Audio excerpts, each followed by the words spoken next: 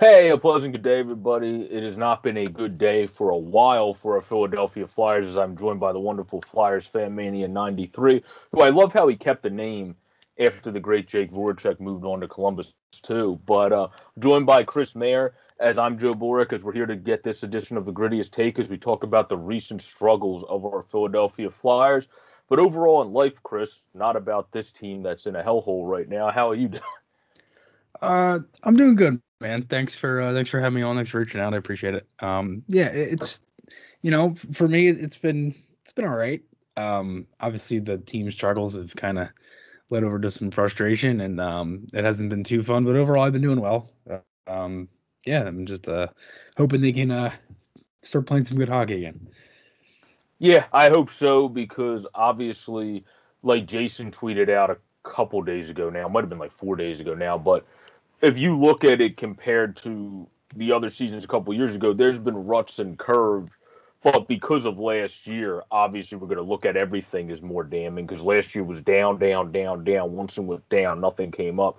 Where you have that now view in your mind that as soon as it starts going down, you're like, crap, this is just not. Where if it was like more like two years ago and you had an uptick last year, you probably wouldn't have the same views now what's your take on kind of the philosophy of people's views with that? Because it seems like that is a good point. Your views do change season by season. If your last season was due to, you're going to have more views. Ah, crap, we're going downhill. This is not going to be good. A lot earlier. No, for sure. I mean, look, last season, I, I personally want to just get last season out of my mind, but I can't because a lot of what I'm seeing from this season is uh, basically carrying over. Um, it, it's a very similar start. If I'm being honest with you, it's if you think about last season, they were scoring goals early. They were getting really good goaltending. This year, starting you know started with uh, getting a lot of goals. Um, Carter Hart was making a lot of saves. Martin Jones kept them in some games. Um, and it, it felt like as the games were going on, we obviously knew that that this team wasn't going to score at a four four. I think it was a what four point six goal pace. They were yeah, scoring. it was above a four point five pace. Yeah, it was it was out, outrageous how much they were scoring goals, and some of their chances weren't even that great. They were just finding net. Um, you know, but you know they were able to create high danger chances. They scored on them if they got them off the rush and things like that. And now that they're not scoring goals, majority of their chances are one and done. Um, they don't have as much zone time. They're having turnovers in their own zone, especially in the last three games. Um, and overall, they just haven't played the the best hockey, and it, it it's been a problem when the power play, which I think we could have in an entire like four hour episode on just talking about the power play, but um, the power play is is so bad that it's it's leaning into their five on five play. I mean, last yeah. night against the Rangers alone, like I, am at the point now, like like Bill Meltzer put out a tweet earlier, um, and I'm gonna pull it up. Um, it might take me a minute here to pull it up because I didn't have it ready because I didn't think I was going to talk about it. But anyway, um, he put a tweet up. Uh, here it is. The Flyers get zero credit for falling behind three nothing, quote unquote, almost scoring on a five minute power play and ultimately having a five on five puck possession edge against the 31 ranked puck possession team. It wasn't even a baby step in the right direction. It was unacceptable that's exactly a majority of what I was thinking, especially with the power play, because you cannot have a five minute power play in a three nothing game and you can't score. It, it, it's just it's not acceptable at this point in the season when you're already on a six game exactly. losing streak going into this game, and then like you can't keep eh, looking for the baby step or the motivation that you need to score. They, I, I'm tired of the oh well they're getting chances and oh well they're doing this. It doesn't matter. They're not scoring. You know, the last night they scored one goal. Um, I think the last time, I think uh, Joe, what is it like? Two games in their last seventeen, they've scored three or more goals. Yeah, yeah, it's something like that. It's an absolute. I can pull up the schedule now, but um, yeah, to look back at it, but I might be wrong on that. I think it might be like 15. Carolina. We scored three goals. Um, Tampa, we lost four to three. But other than that, the Flyers since even the beginning of November, they beat after they beat Arizona three nothing, three to two loss, two to one win. So that's two goals. 3-0 loss, two to one win, five to two loss, two to one win. They got three against Tampa, 5 2 loss to Boston, 4 0 loss, 2 to 1 loss, 6 to 3 loss, and then 5 to 2 loss. Yeah. So in all of November, they really, other than two games, one being a win and one being a loss, um, did not even get to the three goal threshold, and of course, did not get close to it against the Rangers. But right. I mean, coming into that game, and it's because of how we played. It's inexcusable level of play. I mean, I kind of said it when I did my preview. I thought we were going to get like like I I basically said it. The only way the Flyers winning this game is if Carter Hart steals them the, the game. I did not think they had any chance with how New York was playing this mm-hmm. year with how they're playing this year. I mean, you have guys, we've seen it in the past when our team's churning. When you're churning, you have guys move up in the lineup, add energy, jump in, do well. Well, what team do you see that happening with this year? Of course, you got a boarding penalty, which is not a nice thing, but Dryden Hunt's a guy that moved up in the lineup because the they just have that energy going. They just have that ride the energy wave going, the New York Rangers this year, where the Flyers have had that in years past. They have none of that this year, where it's like once something goes down the hill, it Everything, just keeps yeah. downhill. Yeah. Right, and, and that's what last year was. It was like one thing went bad, then everything started. Like everything that could have went wrong for them last year went wrong for them, and in this year, it's it's you, you it feels like they're getting more of that on the injury side. It's like last night they get Kevin Hayes back. Well, then Joel Farabee goes out with an injury, and still haven't heard any update on it. It doesn't seem like it's gonna it's good. Um, it didn't look good. Yeah, he was slouched over when he was yeah. waiting for them to open that door because that MSG, for people that don't know, it's not connected, mm-hmm. so the player has to skate to the door, and he was like this, like yeah. waving the guy yeah. to open the door. So that did not look like a good shoulder or whatever he knocked out of place there. No, for sure, and you know he he went out for a shift after he couldn't even grip a stick. So th- that right there kind of shows you it didn't it, it wasn't good. Um, and if the Flyers have, I, I already thought they should have made a trade to begin with. Um, but if they lost Farabee, they have to make a move. You can't play without one of your better younger wingers. You can't rely on guys to keep coming up from Lehigh Valley. The only option you have from Lehigh Valley right now, besides Frost, is arguably Zamula and Allison after he plays a couple games. That's it. Nobody yeah. else is coming up from the Phantoms. They're all struggling down there.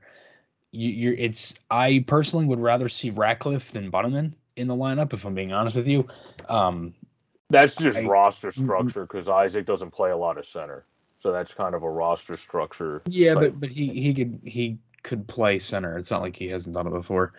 Um, I believe he played center in junior.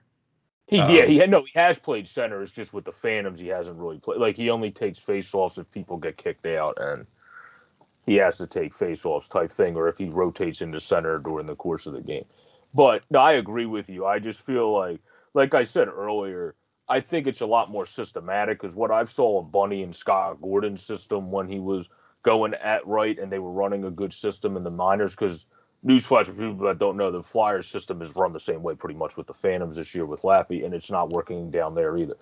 Um, I don't think they're putting guys in the best spot. Where Bonnie, I still think, like I wrote in my article on Nitty Gritty, has a chance to be Nate Thompson like if he gets developed right. Where the Flyers have failed a lot of their guys in the last couple years when it comes to putting them in the best spots too, right. and the best line structure for them to actually play to the best of their abilities. Um, where, like, for example, you should have added a little bit more defense. Like I was kind of saying this in the offseason, like even a Matt Benning or somebody that's just more known to be able to mix into a defense for 30 games if needed, and not a guy that you're going to want to rely on full heartedly, but just mix in because, like you said in your tweet, if you would have told me Nick Seeler would have been the first line defenseman coming into the season, and then on top of being the first line defenseman, the relied upon defenseman yeah. in the third period against the damn Rangers, then I would have thought that you must have fell down 17 flights of stairs before you made that statement because like that's what it's come to now. You have a guy that's just shot blocking, just hitting lefty defenseman that's been yeah. a great AHLer in his career, but just to rotate in and out NHLer. Yeah. now it's so one yeah, he, he's just he's so one dimensional. It's like you can't you can't rely on that. And I get it. They're trying to. I don't know if they're trying to get Provorov going because he really was going beforehand, but like I feel like they're just trying to mix it up because he hasn't looked great in the last couple of games. He's no, had some Proby turnovers. Either, no. Um, and, and it's not just him. It, it's a lot of guys. And again, I I hate sitting here and essentially, you know, just talking smack on the team because nobody wants to do that. And it's it's very hard. Again, everybody knows how I am usually with this team. I try to be as positive as possible, but same here. But it's hard to find it. Right, it's hard to find it when you've lost seven in a row and and you're struggling and um your five on 5 you're not, power play have struggled, which is right. You're not scoring. You're right. You're half your special teams. The only thing that actually has looked better, the penalty kills look really good. They're getting better goaltending. I feel like they defended the middle of the ice for majority of the out of the 21 games. They've done it pretty well. Um, there's been some hiccups here and there, especially in the last few, as I mentioned before, but um, I have really liked the way that they've defended in the middle of the ice because that was Joe, as you know, that was a huge issue last season. Um, oh, people could enter the zone like it was Swiss cheese. Oh, dude, our, our the, team last dude, yeah. the team bus outside could have fit through their seams last year. yeah, yeah, yeah, yeah. It was just, it was horrible. So, I mean, it is what it is. But um, right now, it's it's concerning with this team. Um, I don't know what happens, I, I feel like again, I think they have to make a trade, but we'll see. Well, let me ask you then, because at this point of the season, it's usually if you make trades now, they're not like the other than obviously we saw the Eichel trade, but that's because he was demanding out. That was a completely different situation. You don't normally see the massive guys one get moved in season or two if they do get moved until closer to the deadline. Who's really in the realistic pointer now. Like obviously Strome's been rumored to get out of Chicago, but that's more of a middle way trade because he hasn't been the same. He's he's a guy that again people think is in a systematically bad spot. But then we're bringing him into a system that's not working here. So is that really going to be something that works? Because it seems like those middle wave moves are the moves that people would make more now in the season point you're in rather than the big ones minus Eichel, which was just a complete outlier situation. Right. Well, yeah, that's the thing. I mean, you feel like if they're going to make a move, I think they go for a guy like, like if you you you have to trade with another struggling team, like Vancouver. I mentioned a couple weeks ago on my podcast with Yuri Wallach. Um, we had Jason Martinez on, and somebody in our comment section brought up JT Miller, and I was like, boom, that's perfect. He's a center. He's uh, is has an affordable contract, and I believe he's a UFA after the season. So if you don't resign it, like like if if they were going to go for Tomas Hertl which we've heard, not really heard, but Flyers fans have mentioned in on, on in Twitterland. Yeah. Um, that would be more of an off-season thing, in my opinion. I, I don't see them going for Tomas Hertl right now, um, because you ha- probably have to offload a good amount to get Hertl. If I'm being honest with you, if they were to try to, um, I I really don't know what else they they could get. I mean, if uh, anything, uh, they need to have. Quick, he does have next year JT Miller also, but it's not for a bad cap hit. It's for the same five point two five. So I mean, yeah, fit that in. Right, and and and that's that's a very good um, contract for JT Miller. I mean, he's a very good player. He's, he's one of the more underrated centers in in the league. Yeah. I mean, that goal he scored the other night. Yeah, yeah, that was disgusting. Um, he's a very, very good player, and I would seriously love to see him in a Flyers uniform. I don't know what they give up. Um, It'll probably take I, a bit, yeah. I, I, feel like you'd have to move JVR just for the contract to to, to at least in yeah. salary. Um, for salaries, it's obviously not the only thing that's going to go. It's going to have to be something else, probably another another one or two roster players and a pick. Um, depending depending on what happens, because he's a very good player for Vancouver, and they are struggling, and they're probably going to want somebody back too that can do something for them, um, since they're having similar struggles, probably worse than the Flyers. But um, yeah, it's it, it's I, I really don't know what they do specifically, but they need to do something and do it quick. I know obviously Chuck has been talking. There's Dvorak not working in Montreal. He's four something a year. I think he has more years than JT Miller, but that's something I was just thinking could be a possibility if the Flyers went that route because he does yeah. have a cheap contract in all things considered with the way the right. market is. I, I personally believe they need more of an offensive spark, a guy that can shoot. Not, not saying Dvorak can't shoot or anything like that, but a guy who's known for for shooting, yeah. um, just kind of more of an offensive all around game. Um, that probably that that wouldn't be too bad of an option either. No, that's what like I feel like JT Miller for me would be the option. I agree with you. I would really want because he has he kind of fits it all. But that's kind of what I was getting at. I don't know how many teams make those fits at all trades this early in the season when normally it's more of the who's the best guy out there that a team will trade now type type move where if Dvorak's not working out when they made the move for him, where that was one of the moves people went, oh, this is a good replacement piece for Kotkaniemi letting him go right. they might decide to move on from him. Or um, obviously, Dylan Strome is in the way of getting sent out eventually in Chicago, you would think, which would be better for him and his career because he's not in the best spot right now. That's like a middle wave move that you see happening at this time of the season. That's why I'm curious. like, I would love JT Miller to happen now. I just don't know if the Canucks would do that yet or wait on JT Miller, particularly realizing he does have next year um, on his contract still. Right. No, for sure. I mean, I, I think there's a lot of different factors that'll play into it. Yeah. But um, the Flyers this year, I think one of our biggest issues, of course, have been. I talked about it with your reef on nitty gritty too, but like we've been just doing this, like like you said, when we're at our best, we're one of the better teams at cycling the puck. But that doesn't mean cycling the puck doesn't mean dump and chase with a bunch of people that you don't have that box people out, unless if your name is Zach MacEwen, to get to the puck like you have it's always one guy going into the zone and then other people either staying back or line changing. Like how do you expect to win the win the puck? What do yeah, you take on like this dump and chase system that clearly just isn't working? Yeah i mean they they clearly need to change something or or just they just don't have the it's not even that they don't have the talent or the players or the guys to do it. Because again as i said when they're confident and they're moving the puck and they get in there first and they create some havoc they are arguably one of the better cycle teams in the league when they're able to do it. It's just, are they able to get into the zone? You know, uh, is it? I think the the one thing that's an issue was they don't get enough point shots. Every every point shot yep. is either blocked, and if it, it doesn't get through to the net, if it's blocked or goes wide, whatever, or they go point to point and dump it back low again. It, it, it just doesn't work. And it's not even that they can't make it work because they have the talent to make it work, but you have to make an adjustment. Like the one thing I did like in last night's game was they got through the neutral zone with speed. You saw it on the frost goal. He basically created the entire play. Um, once they're able to get those creative passes up through their own blue line and, and just kind of fly through the zone, they did that for a lot of the game. But it was the fact that you went down to nothing and gave up a goal 34 seconds into the second period. That was the dagger in oh, that game. It, it just wasn't enough to get them back. And Shesterkin was on his head, you know. So so that was that was what that was. And um, but it, I do feel like the, their losing streak is going to come to an end soon. I felt like against the Devils they had a good amount of offensive chances to score, but Blackwood was pretty good and they just didn't necessarily score.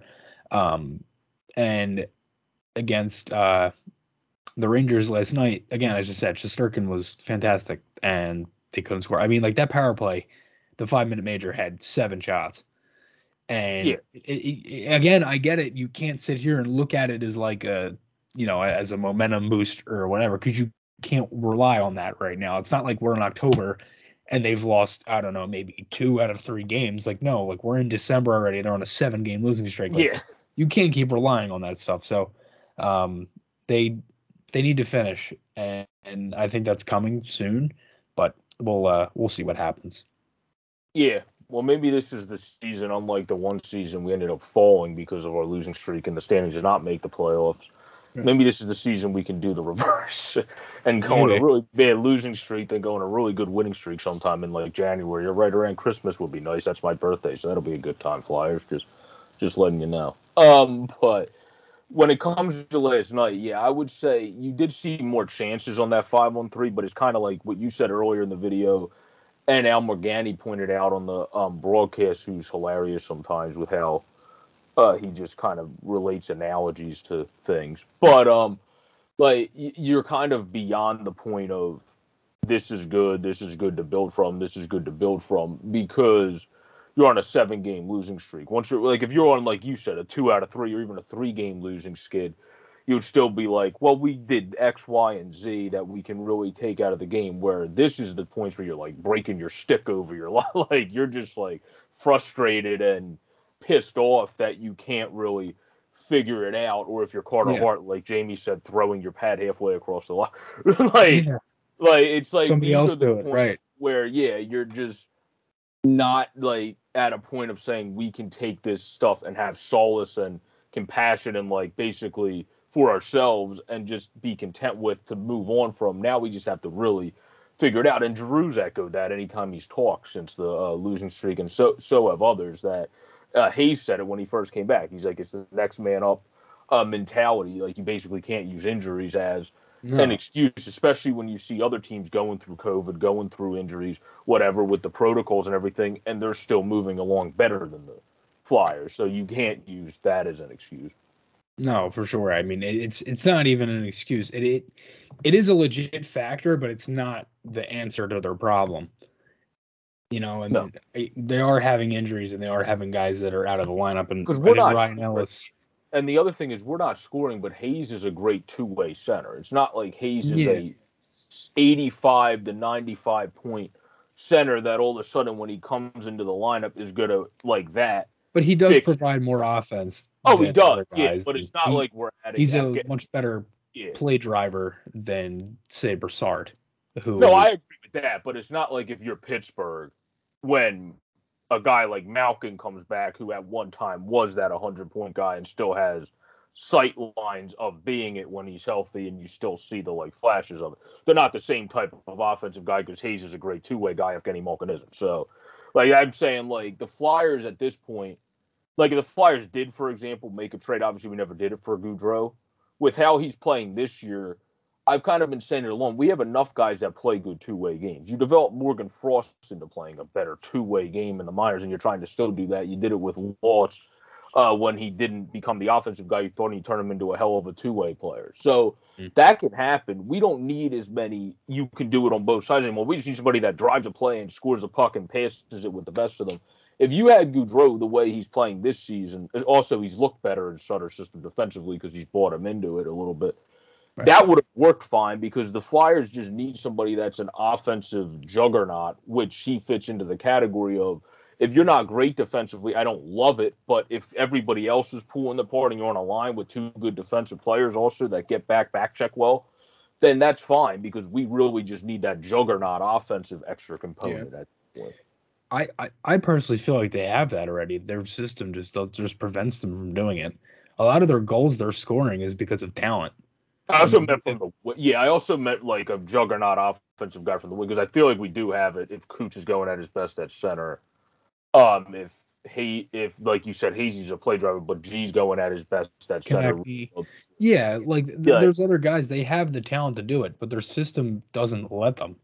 Like it, it all the goals they're scoring are because of talent. If you go back, you look at the two goals they scored against New Jersey, they were all talent based. Laughton the shorthanded, and Farabee got the bounce off of a of a turnover behind the net. And Even yesterday, uh, you you wanna- could say Frost was town based because it's what yeah, they the backhand pass, the pass in front, and he got there first. also It- stick checking a couple nice stick checks in the zone to get it off of the opposing players so they could even get those opportunities. So, Right. And then, and then even if you go back to the, the Carolina game on Black Friday, you have the really nice pass from Drew to Provorov, Farabee going, you know, end to end shorthanded, and then you have the rest of the line and goal, which is a great pass from Frost that found net.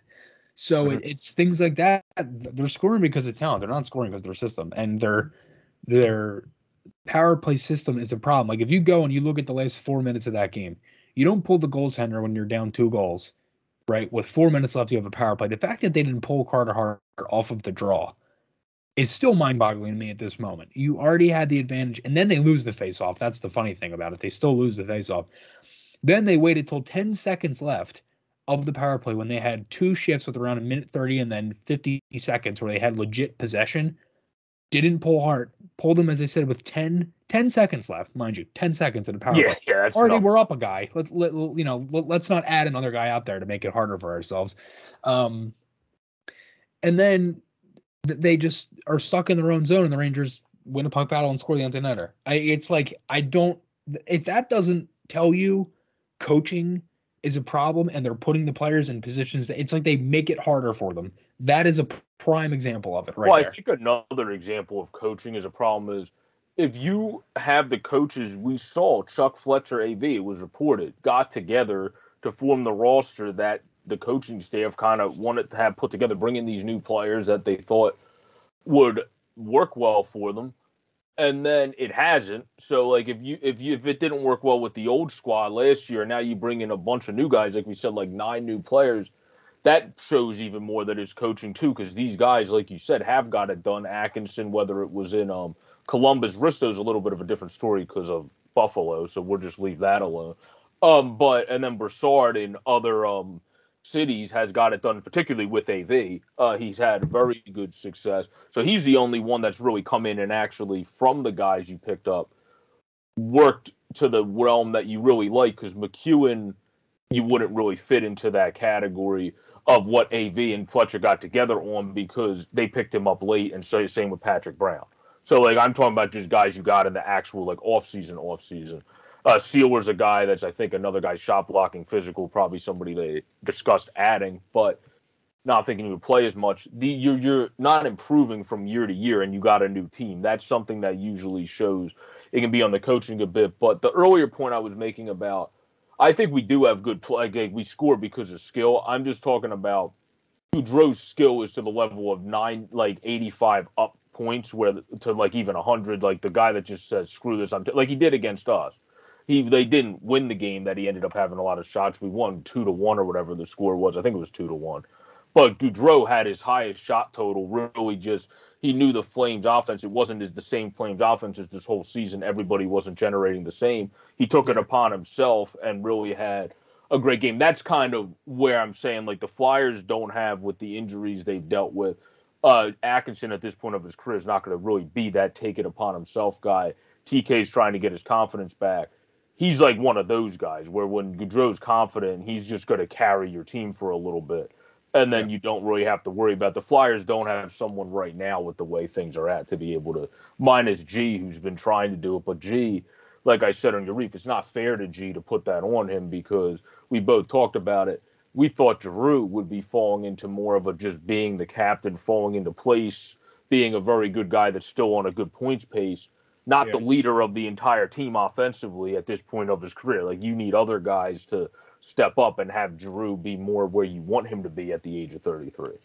No, for sure. I mean, they they, they need a some sort of a spark.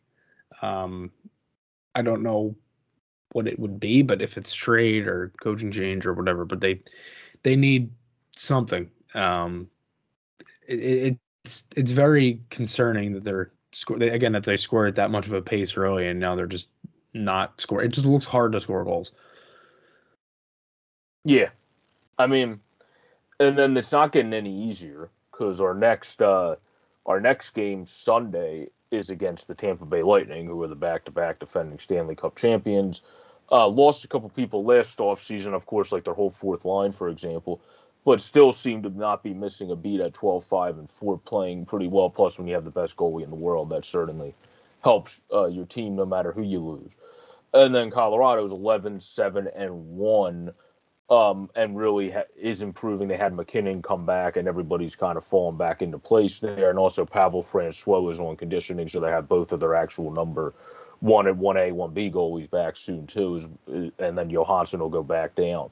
Um, so what do you think if you had to put a percentage on it um, that the Flyers have to end their losing streak against these very tough opponents, be it at home, it'll be in the Wells Fargo Center, either on Sunday against Tampa at 6 p.m. for people that don't know, since that's a different start time, or Monday at 7 p.m. versus Colorado. Zero to 10. Zero to 10, okay. So even even us that were usually the more optimistic people, where they're not winning, I don't think. They, yeah, I'm go I'm doing the game Sunday. I hope they win. I don't think they will. Monday, maybe, but Sunday, I mean, with the way that they played against Tampa the last time, they, you got to play better than that. The one before they lost in the shootout, maybe. If they play like that, yeah. They play like that, and, and maybe, you know, I believe Point's still injured. I know Kucherov is still injured. Um, yeah, Point's out for a bit, yeah. I know Kucherov is still out for a while, so we'll see. But regardless if those guys are still out, you know, the Flyers still didn't necessarily play good. I mean, Barkov was out against Florida and they didn't look good in that game either. So realistically, it doesn't matter. The Flyers have to play better as a team, and I feel like a couple days off can help them. So maybe, I mean, look, anybody can win in this league. It, it's there really is no easy game in the NHL anymore. Like I think everybody talks about that Arizona game too much. Like I, I, I the Flyers won three nothing, and I felt like they dominated more of the, most of the game. It was just the first period was kind of back and forth. That was it. Like you you knew at some point Arizona was going to win a game, and it wasn't the fact of like, you know, the Flyers are going into it and they're playing Arizona, and that and the goaltender Vejmelka was fantastic, and he did it before against Carolina and Washington in previous games, the two games before that for Arizona, and they almost won those games. I think they lost two nothing and two one, so you know it, it was it was pretty close, and the Flyers basically won. It was three nothing, but really two nothing with an empty netter. Um, but three nothing, and you know, it is what it is. But I I feel like they need a legit game where they just. It's not even like that they have a. It's not even like a momentum builder or anything. They just need to have a game where they just go out and play. Like, make a couple adjustments, maybe change your system up. Um, I personally would like to see a one three one system. I think it's more it's more structured than what they're having now, and, and they're getting caught with having their wingers too high. You saw it last night on uh, the, the third goal. Hayes and Konecny spring, Laughton flips some turnover, Kreider scores. Like, you know what I mean? It's like if Laughton maybe waits a second and the other guys kind of dip back instead of going, you know, just you Full know fledged. Yeah. Yeah. If they just don't, you know, if, if they don't like just fly out of the zone, maybe they have a chance or Laughton maybe looks the other way to Hayes. But like it's just things like that where if they can make adjustments and, and do different things, um, they might be able to win these games. But eh, look, any game is winnable. But I think at some point the, the, the losing streak has to end, and it's got to come from the players.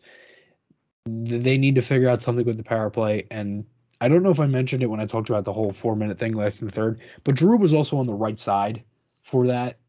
I don't remember if oh, I mentioned yeah. it. I might have. Doesn't make sense, yeah. Right. If you're down two goals and you have four minutes and you're on the power play, yeah, let's put Claude Giroux on the right side when he's statistically a thousand times better and prefers to play on the left side. Yes. Yeah. Uh, like it's just it's mind boggling to me. But anyway.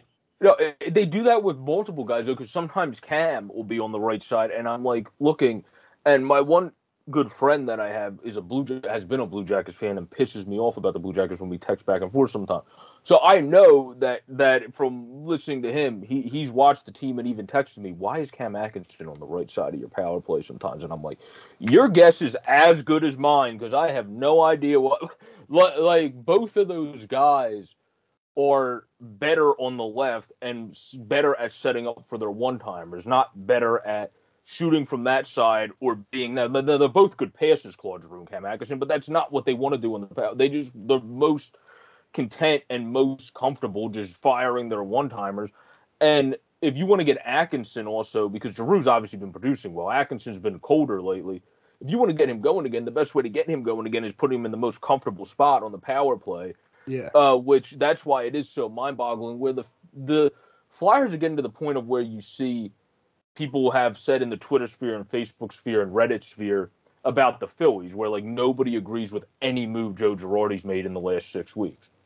Where like that's kind of what what the Flyers are getting to in these last seven games with the coaching staff. It's like the only thing I've kind of like somewhat recently is literally what just happened. I want I'm kind of excited to see what Frost, um, Giroux, and Atkinson can do as a as a line with Giroux back at center because of how he's been playing this year. But it's usually if I agree with one thing, it's one literal thing. It'll be like one line. I'm like, oh, I kind of like the way that line structured, and then everything else is like you talked about at the beginning.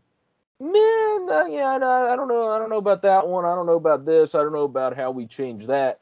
Like it's more you're getting to the question baseline, and usually when you start getting to this point, that's when this is like really the make or break time to prove who you are as the, a team, but also if you're the coaching staff to prove that you still belong here and you're still the people that are going to get this team over the hump to where they need to go. Yeah, no, for sure. And going back to what you're saying with the power play, like the the game that they had switched it and, and it was the Arizona game when they came home and they switched the units and the first power play the Flyers had that game, Atkinson was way too damn low in the slot. Mm-hmm. Or, or, excuse me, not in the slot. He was in he was on the left side. He was on the on the left half wall, but he was more towards towards the circles. So like he was closer, but like it was basically Jerome Provorov playing catch because Atkinson was too damn low to do anything. If you're going to put him in that spot, let him shoot it. I would rather have Giroux there anyway because even earlier in the season, Atkinson had a couple goals and really close chances to scoring on the right side of the power play because they set it up.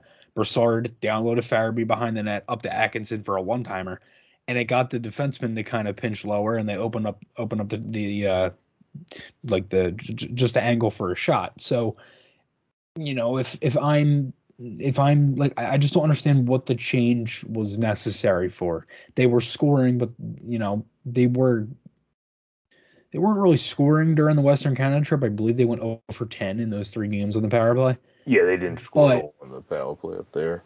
But they it generated momentum for them, and it would looked a lot better than it does now. I will say that.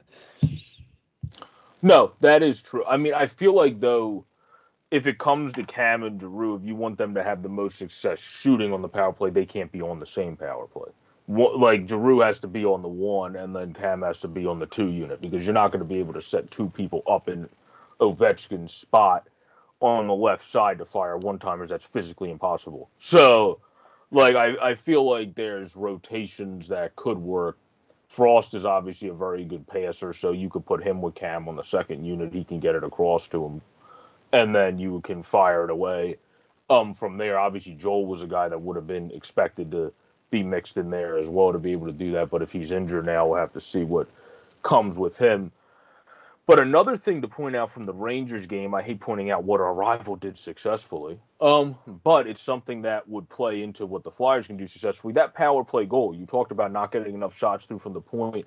For me, it's not getting enough shots from the point, choosing the wrong shot, like you mentioned when you're shooting into people, but also just stop looking for the 14 carat gold shot. Like Trouba that's not a that's not a shot that's brilliantly great. He just saw people were screened in front. He had a chance to get it on net, and he had a chance to make a play because the goaltender was screened and shot yeah. it. The Flyers yeah. have those opportunities a lot and don't take them. Don't you think that's a good power play our team can learn from seeing the Rangers kind of sure. cycle the puck because back? it's just simple. Like they got it was the last thirty seconds of it where the Flyers dominated, and on, on the penalty kill, and they were able to to shut them down. When I'm looking at it now, it's like I'm looking at, at the shot um, from Trouba now, and it was just a double screen in front, and mm-hmm. it was it was simple. It was passes over, and they got a shot from the point. The Flyers don't use the point well on the power no, play. not at all. No, especially with Provorov out there, like he doesn't. He's just very like unaware of of the situation, and he kind of just holds it too long. And Yandle, I don't mind, but he I'd rather you know I, I actually really like Yandle doing the power play. He just doesn't necessarily shoot as much as I'd, I'd like him to sometimes. Um, but they don't have a legit shooter on the power play. And I, I, I never understood the whole um, power play being predictable thing for teams because the Capitals have literally had the exact same power play setup for an entire decade. And it still works to this day because you have that many lethal weapons on it from Backstrom, Kuznetsov, Oshie, Carlson, obviously Ovechkin on his side. Yeah. Like, and if it's not open, they go to either of the other ones. And another thing is too is all those players on that team know how to run that power play, regardless of say Backstrom's out or Oshie's out, whoever. It doesn't matter. They still know how to run it and they still know how to use it to their advantage.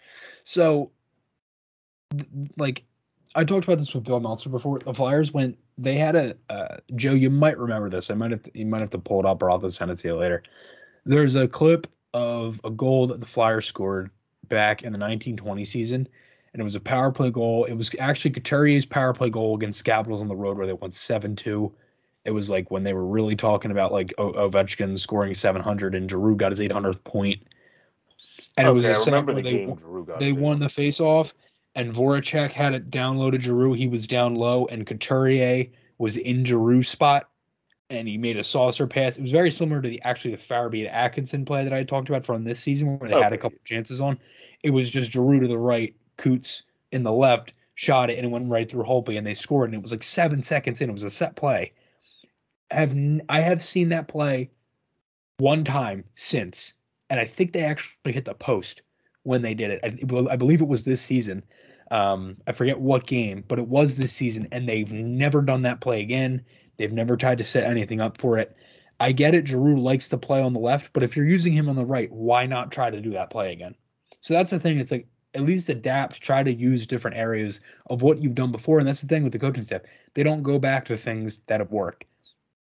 And when something clearly isn't working, they don't change it. The Farabee Couturier JVR line. I mean, like like again, me and you were talking about this before we started recording. Like they don't.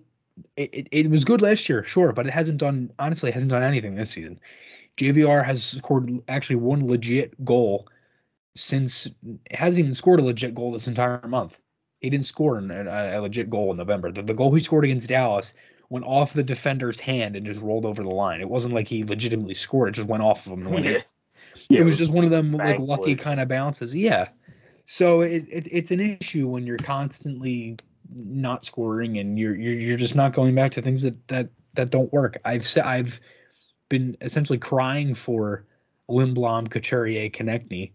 Um, they're not giving Oscar a chance to even get going. He doesn't have a legit offensive guy that he's really playing with, and it, it's not helping him playing on the fourth line. He's also not a fourth. I mean, he he he can do he can do things that a fourth liner would do, but he's not a fourth line. He's not player. a fourth line player. Yeah, yeah dude, anybody can do a fourth line role. It's like, it's just you you can. But there's certain guys like Nate Thompson, for example, that are just like prototypical.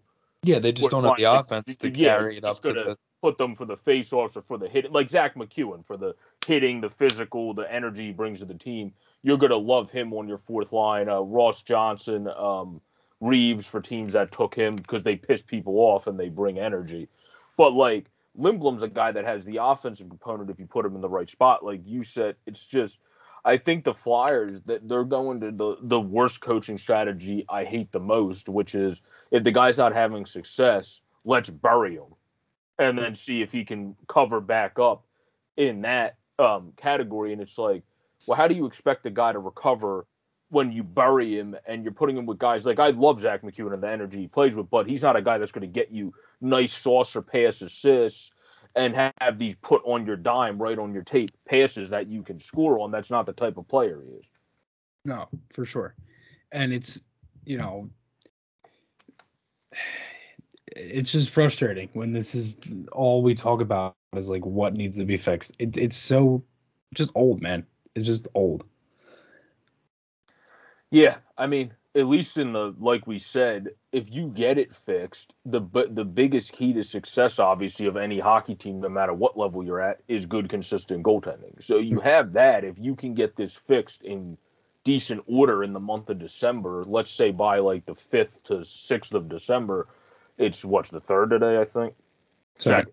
Second. Yeah. So by like the fifth or sixth of December, you you can then kind of start building it back because you have the foundation of the great goaltending. You just have to then figure out the defense and the structure of how everyone's going to be lined up there. And then if the scoring gets going, then you're going to start winning games anyway because it's not like the Edmonton Oilers win because of their damn defense. They they, they win they win because their goaltending has been playing well this year. Koskinen's had a career year and their offense is great. So as long as you can get your offense going again and you have this good goaltending, you then just have to figure out the defense, and that would make people a lot more happy. To then some will still complain, but most people would be a lot more happy and positive because you would at least be winning games. You get it going, and then you realize, yes, we have to fix the defense. Maybe add another guy there as well. But that's something we can do down the line. It won't be like now where you just can't even point to really much positives in kind of the bleak seven game or losing streak that this team's on. That everybody, even teams that have not been like the Devils were struggling when they came into playoffs too. They were sputtering, even took advantage of the Flyers. No, for sure, and it's it's it's a problem when you continuously can't play to the level of your opponent and you're just you're not scoring goals and every chance you have is one and done because you can't do anything in this league if you that's all you're you're doing when you're scoring. So no, and um, I think we pretty much uh, covered a pretty good bit of everything here about the Flyers' um, extensive struggles. Um, recently, we hope obviously being more positive people here with uh, Flyers Nitty Gritty. We both do stuff for them, and Chris over at Flyers Fan Mania, and me at Sports Phanatic News. We turn this around quickly, but um, to end this video, Chris, for one, do you have any like final three points that you think are the keys to success going forward, and then also tell everybody where they can find you at? Um, if they can get the power play going, if their defense can play better in front of of Hart or Jones, depending on who's in net, um, and just play for each other. That's that's the one thing I want to say. Um, yeah, my YouTube is uh, Flyers Fan Mania 93. You can check it out there. I do videos after every Flyers game. Uh, I do Florida podcast with Amadeo. I write for Flyers Nitty Gritty. Do Don't Panic with Yuri for Flyers Nitty Gritty. Um, I do a bunch of stuff. You can find me, check me out on Twitter. Um, I'm at underscore Chris Maher, and then my Instagram is the same as my YouTube, and Facebook, if anybody uses it, is uh, just just my name, Chris Maher. And uh, Joe, thanks for having me. I appreciate it. Yeah, no, thanks for coming on. I know all of us in the hockey season, we're always doing a million different things, so it's great to be able to get us all on each other's shows. I appreciate you for coming on. You can find me at Sports Phanatic News, Steel Flyer, and also, of course, over at Flyers Nitty Gritty, and subscribe to all those places as well as Chris's channel, Flyers Fan Mania. Is that the pink Whitney hat, by the way? It is, yeah. That's an awesome hat too. Um, Ryan, uh, yeah, Ryan Whitney for people that I almost called him Ray Whitney.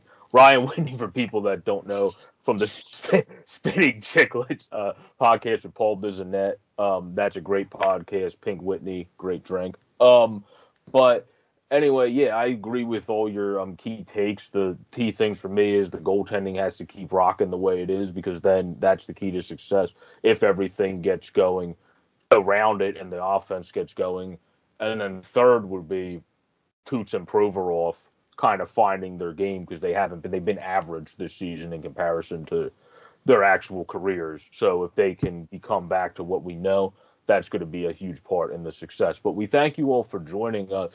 Uh, this has been the Sports Side News, the grittiest take as we talk about the Flyers' woes that we hope turn into the boos, turn into cheers going forward for this team. Hopefully, starting against Tampa, but that's not going to be easy. So we'll have to see going forward. Peace out, everybody. Stay safe and enjoy the great, fantastic hockey season.